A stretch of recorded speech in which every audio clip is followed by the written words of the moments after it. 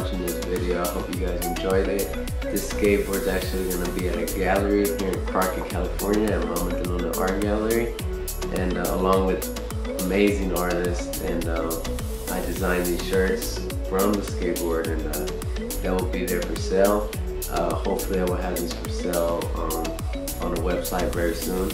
Uh, subscribe, like, share, follow me on Instagram, follow Mama DeLuna gallery and Instagram, and uh, thank you guys for watching.